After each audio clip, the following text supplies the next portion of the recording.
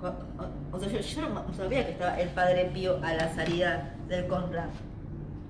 Nadie me dijo nada nunca. No, yo sé tampoco. En la iglesia esa. está ahí.